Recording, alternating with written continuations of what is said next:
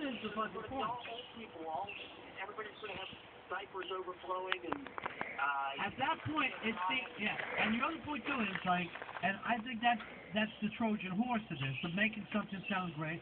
But now, the only thing we can do is depend on the aliens.